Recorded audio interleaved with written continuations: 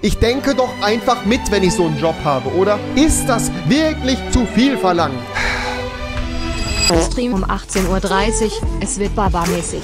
Hi, ich bin's, der YouTuber, den ihr mit jedem anderen YouTuber austauschen könntet, weil ich den gleichen Content mache wie alle anderen. Solid. Let's go, der Hase.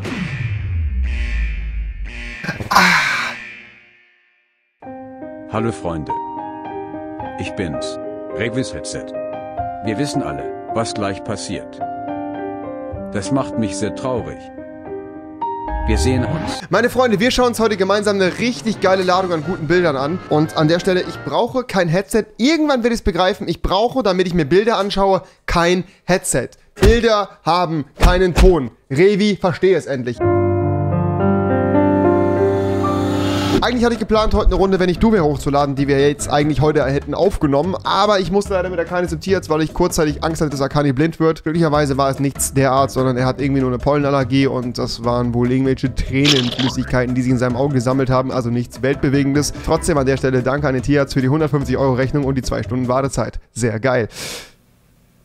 Dementsprechend kommt heute wieder ein Format, was ihr schon 20.000 Mal auf meinem Kanal gesehen habt und trotzdem euch die Sch immer wieder reinzieht. Wir schauen uns heute die Red Only One Jobbilder an. Leute, die eigentlich Jobs hatten, die dermaßen einfach gewesen sind, die so simpel gewesen sind, dass man es eigentlich gar nicht falsch machen kann.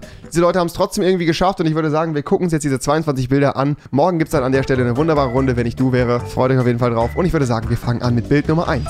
Ich ähm, bin in Minecraft deutlich besser geworden. Beginnen wir mit dem ersten Bild in der Liste, meine Freunde. Und zwar sehen wir hier 15 Straws. Thanks. Ja, an der Stelle natürlich eine ganz geile Nummer. Viele versuchen ja auf Plastikstrohhelme zu verzichten und da nicht großartig unnötig viel Müll zu produzieren. Capri Sonne nimmt es an der Stelle einfach mal gelassen und sagt, hier sind 15 Strohhalme, falls du die anderen 14 nicht triffst. Finde ich eine coole Nummer, muss ich ganz ehrlich sagen. Ich glaube, die ganzen Schildkröten mit den Strohhalmen in der Nase freuen sich auf jeden Fall darüber, dass du an der Stelle hier, dämlicher Mitarbeiter, 15 Strohhalme an eine Capri Sonne gemacht hast. Baba. Beförderungswürdig. Somebody really hates kids. Ja, das könnte ich gewesen sein. Die Rutsche geht hier direkt in den Kanal rein. Entweder hat jemand die Rutsche, also den Kanal aufgemacht, oder es war tatsächlich irgendein Arbeiter, der die Rutsche fälschlicherweise dahin gebaut hat oder gesagt hat, ich muss hier eine Kanalreinigung machen, den Kanal einfach offen gelassen. Ich meine, man kann ja auch drumher, also drumherum rutschen, aber es, es führt eigentlich unweigerlich dazu, dass gerade ein Kleinkind da mal reinrutscht oder reinfällt. Warum sind auf einem Spielplatz Kanalöffnungen an der Stelle? Kann man den nicht einfach woanders hin machen? Irgendwo da hinten, wo die Autos sind oder so? Muss das direkt vor der Rutsche sein? Nein? Gut, alles klar. Tolle Stadtplanung. Beförderungswürdig. Baba. The library is now selling free coffee for one dollar. Ah, der Gratis-Kaffee für ein Dollar. Hm, der schmeckt am besten. Free Coffee, ja, weiß ich nicht. Also ist Selling Free Coffee, also Selling Free, das ist so ein Ding. Also in der Bücherei sollte man eigentlich der Meinung sein, dass man ein bisschen, ja, sag ich mal, nicht gebildet ist, aber zumindest im Kontext Wörter soweit versteht. Free und Selling, das beißt sich so ein bisschen. Also verkaufen und gratis, das ist jetzt nicht so unbedingt ja, gut, aber ich meine, den Gratis-Kaffee für einen Dollar, den, den sollte man sich einfach an der Stelle einfach mal gönnen. Stonks. Co coole Idee, wirklich. London, Tokio, New York, Barcelona. Alles klar. Love. Oh mein Gott, das ist New York, ist mein favorite. New York. Ja, wir haben hier das äh, V von New York und da ist nochmal ein anderes V dran, weil es ist ein W, also ein W. Kann man so machen, ist eine echt dumme Idee. Es gäbe sicherlich andere Städte, die man hätte nehmen können. Venice zum Beispiel oder sowas. Äh, also ja, ich finde auch dieses generelle Tastendesign ist dermaßen schrecklich. Tut mir leid, da auf jeden Fall den Designer doppelt und dreifach entlassen, ihm die Photoshop-Lizenz wegnehmen und gucken, dass der Typ nie wieder irgendwas designt, weil das ist einfach nur eine große Unverschämtheit. Baba.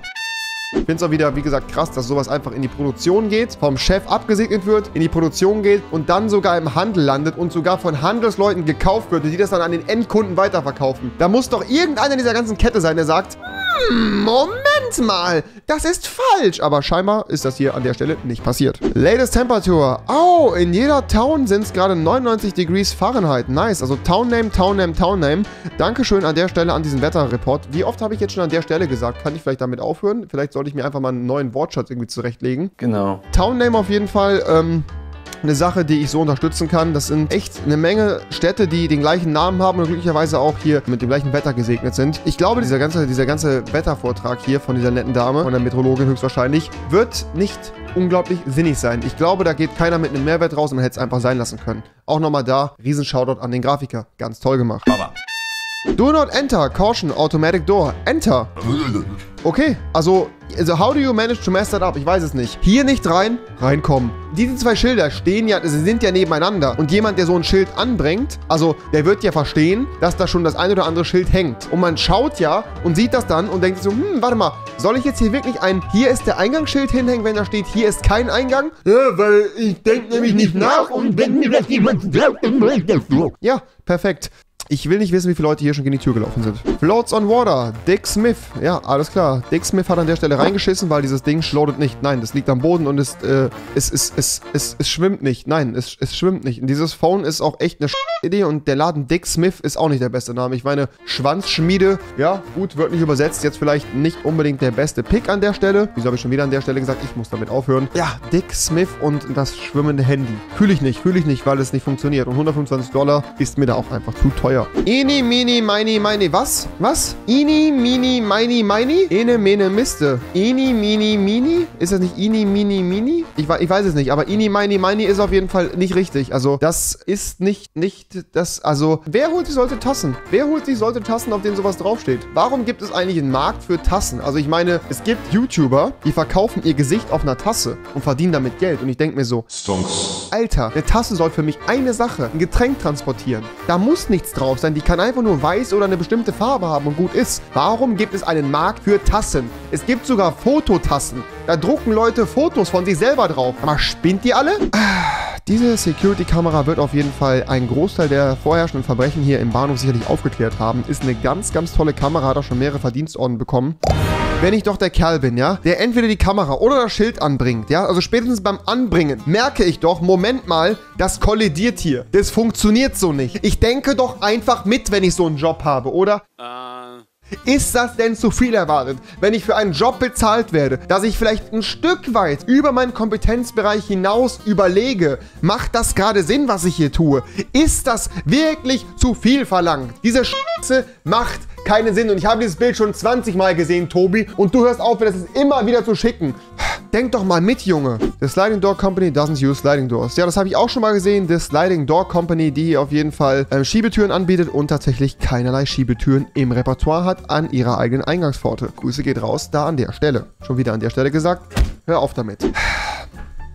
Hier hat jemand Straßenstreifen gezogen, ja? Fahrbarmarkierungen. Ganz tolle Nummer. Wirklich super, super wichtig für Verkehrssicherheit und so weiter und so fort. Jetzt ist es nun mal so, dass Herbst gewesen ist. Ja gut, im Herbst liegt halt Laub auf der Straße. Ist ja nicht schlimm. Man kann ja mit einem Laubgebläse oder mit einem Besen vielleicht kurz das beiseite machen, weil ich mache ja hier gerade Fahrbahnmarkierungen und logischerweise fliegt das Laub irgendwann weg und dann habe ich da so Stellen wie jetzt hier. Aber nein, ich fahre einfach darüber und denke mir nicht weiter und denke mir so, ich weiß, warum habe ich Feierabend. Nummer. Leute, wenn ihr so einen Job habt, bitte ein bisschen Anspruch an euch selber. Stellt euch mal vor, jeder Mensch, der einen Job hat, macht diesen Job zu seiner eigenen Zufriedenheit mit 80% oder stellt einen gewissen Selbstanspruch an sich. Boah, wie geil wäre das bitte? Ich höre einfach auf zu, zu spinnen, das wird niemals, es wird niemals passieren. Diese Rutsche ist einfach tödlich und ich weiß nicht, was das soll. Das gehört ja nicht dahin. Es ist ja nicht so, dass ich aus Versehen einen ganzen Spielplatz aus Versehen auf einem Hausdach montiere und dann sage, so, ich bin fertig, Chef. Hier steht, montieren die den Spielplatz. Ich hab den montiert. Da sterben Kinder. Es geht um Menschenleben. Was stimmt mit euch nicht?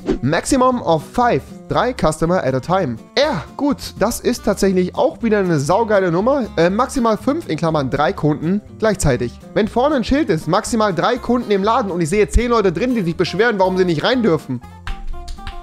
Es ist doch nicht so schwer. Denkt doch alle mal mit. Ihr habt doch alle ein Gehirn. Definitiv nein. Ah, ja.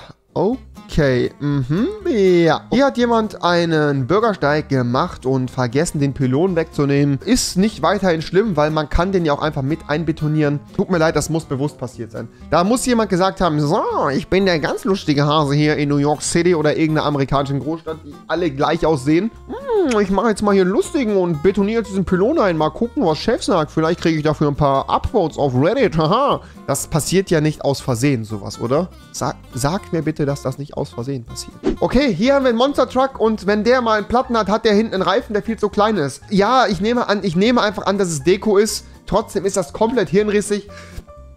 Ich, ach, ich stelle gar keine Fragen mehr. Wir machen weiter. Warum? Warum kommt da Wasser aus der Steckdose? Das ist ja nicht richtig. Und ruft man an der Stelle den Klempner oder vielleicht doch den Elektriker? Und warum sage ich die ganze Zeit an der Stelle und rege mich über andere Leute auf und bin eigentlich genauso beschränkt wie die? An der Stelle.